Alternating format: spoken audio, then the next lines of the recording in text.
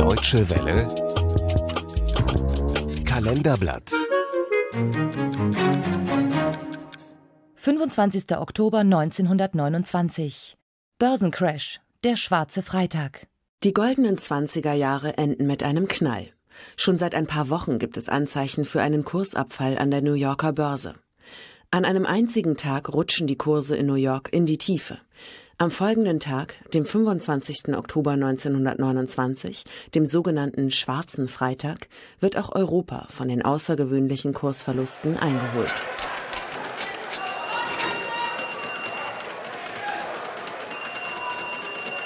Als die Berliner Börse an diesem Freitagmorgen öffnet, machen sich Entsetzen und Panik breit. Durch die Zeitverschiebung erreichen die Kursverluste des Black Thursday erst am Freitag Europa. Um sagenhafte 90 Prozent ist der Dow Jones Index unter seinen Höchststand von vor sechs Wochen gerutscht. 11 Milliarden Dollar Geldvermögen sind in den vergangenen 24 Stunden vernichtet worden. Und die Talfahrt ist noch nicht zu Ende. Dr. Martin Übele vom Institut für Wirtschafts- und Sozialgeschichte der Universität Münster.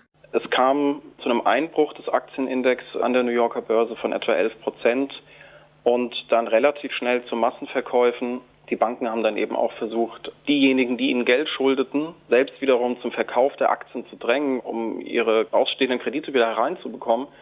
Ja, insofern hat sich das verselbstständigt. Es kam dann ein paar Tage später zu einem weiteren Abschwung in etwa dieser Höhe und der hat sich dann weiter fortgesetzt. In den 1920er Jahren scheint der wirtschaftliche Aufschwung lange Zeit grenzenlos zu sein.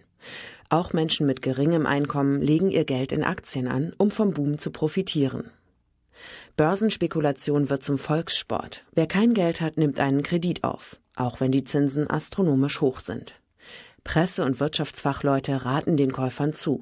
Viele Amerikaner glauben an ein ewig währendes Wachstum. Die Leute haben sich verschuldet, um Aktien zu kaufen für Unternehmen, die neue Produkte hergestellt haben, Kühlschränke, Fotoapparate, Autos, GM, Ford sind da Firmen, die zum Beispiel viel produziert haben, hohe Gewinne erwirtschaftet haben und es gab dann plötzlich eben ein hohes Verschuldungsniveau auch der privaten Haushalte. Nur wenige Wochen vor dem Zusammenbruch der Börse veröffentlicht der Direktor von General Motors, John Raskop, seinen berühmt gewordenen Artikel Everybody ought to be rich. Jeder sollte reich sein. Stellen Sie sich vor, ein Mann heiratet im Alter von 23 Jahren und spart 15 Dollar im Monat.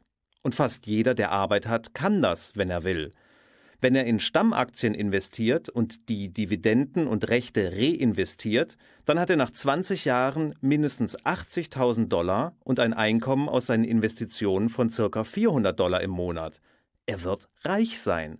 Und da jeder dazu in der Lage ist, glaube ich fest daran, dass nicht nur jeder reich sein kann, sondern dass jeder reich sein sollte. Dieser Traum platzt mit dem Crash wie eine Seifenblase. Die Auswirkungen des wirtschaftlichen Zusammenbruchs sind verheerend.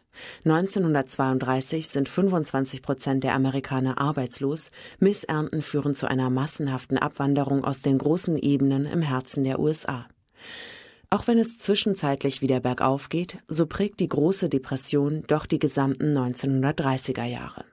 Wirtschaftsexperte Martin Übele. Das war eine Verarmung, eine Massenverelendung, die sich durch alle Sektoren der Industrie und auch der Landwirtschaft gezogen hat. Die amerikanische Krise reißt auch die europäische Wirtschaft in den Abgrund. Deutschland trifft es in den folgenden Jahren besonders hart. Banken müssen schließen, Firmen brechen zusammen, Millionen verlieren ihre Arbeit. Dabei spielt auch eine Rolle, dass amerikanische Banken in den 1920er Jahren große Mengen Geld an Deutschland verliehen haben. Geld, das sie jetzt zurückfordern. Deutschland musste Reparationszahlungen ans Ausland leisten hatte sich aber zusätzlich noch ähm, im Privatsektor massiv verschuldet. Und insofern gerieten sowohl die USA als auch Deutschland sozusagen an diesen Rand des Abgrunds.